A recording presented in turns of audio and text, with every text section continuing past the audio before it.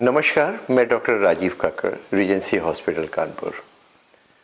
आज हम बात करेंगे बदलते हुए मौसम के साथ में होने वाले हेल्थ के ऊपर इसका क्या प्रभाव है, किस तरह इसको हम अपने आप को बचा सकते हैं।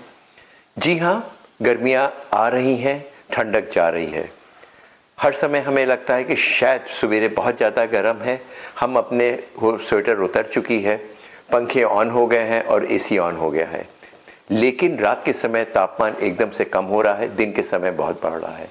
इसका प्रभाव हमारे हेल्थ के ऊपर पड़ता है स्पेशली वो लोग जो बहुत यंग हैं या बहुत ओल्ड हैं, जिनको कुछ प्री एग्जिस्टिंग डिज़ीज़ है लाइक डायबिटिक है हार्ट की प्रॉब्लम है थायराइड की प्रॉब्लम है किडनी की प्रॉब्लम है, या उन ड्रग्स के ऊपर है जिससे आपकी इम्यूनिटी कम है।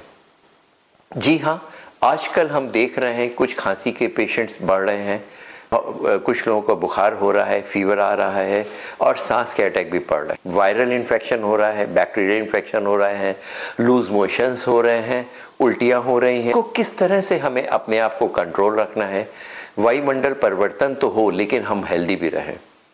जी हाँ अगर हम थोड़ा सा प्रिकॉशन ले लें, अगर सवेरे के समय हमने अपनी स्वेटर तो उतार दी है फ़ैन तो ऑन कर दिया है, लेकिन रात के समय जब टेम्परेचर बहुत ज़्यादा गिर जाता है तो शायद हमें पंखे के नीचे नहीं सोना चाहिए। एसी को बहुत ज़्यादा टेम्परेचर हमें लो नहीं करना चाहिए। हो सके तो अभी एसी का इस्तेमाल ना करें, जिससे कि केवल टेम्परेचर वेरिएशन का प्रभाव हमारे ऊपर नहीं पड़े। आजकल कुछ वायरल इन्फेक्शंस हो रहे हैं। इनका सीधा प्रभाव हमारे थ्रोट पर पड़ रहा है। एक दिन का बुखार बुखार तो चला जा रहा है, लेकिन आने वाली खांसी शायद वो किसी भी दवा से नहीं रोक रही है। हमें खांसी आती है, आती चली जाती है, गला लगता है, छिल गया है कभी कभी उसके साथ हल्का सा ब्लड भी आ रहा है, सांस फूल रही है, जरा से दूर चलने पर हम हपनी आ जाती है, सांस फूल जाती है और हम कुछ भी काम नहीं करने में असमर्थ हो जाते हैं। कमज़ोरी, उसका आलम बहुत ज़्यादा है। बेनतहा कमज़ोरी लगती है, चलना मुश्किल है, गले में दर्द होता है, उसका कारण केवल वायरल या बैक्टीरिया इन्फेक्शन बदलते हुए मौसम की वजह से है। इस समय जो इन्फेक्शन हो रहा है, उसकी इन्फेक्टिविटी की दर बहुत ज़्यादा है। अगर एक आदमी को इन्फेक्शन हो रहा है, वे कुछ घंटे के अंदर बहुत सारे लोगों को प्रभावित कर रहा है। आपके घर में एक किसी को भी हुआ है इन्फेक्शन, वो पूरा पूरा घर उसको गला खराब हो रहा है, फीवर आ रहा है।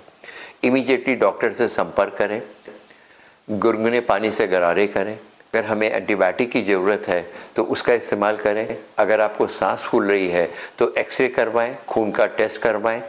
छोटी सी सस्ती जांचें होती हैं और बिना समय गंवाए हुए इलाज करना शुरू कर दें।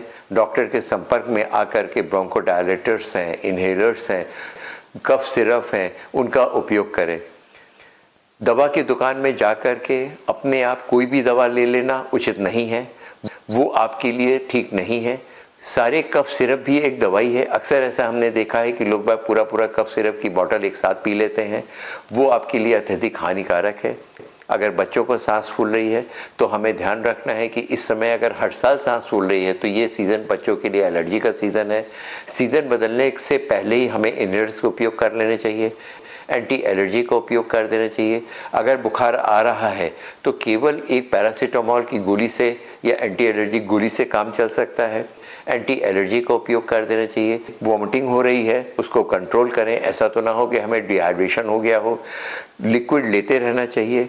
जो वो नमक का पानी इलेक्ट्रॉल का पानी, वो लें जिससे कि हमें पानी की कमी ना हो और इन्फेक्शन को कंट्रोल करें। Thank you. वॉमिटिंग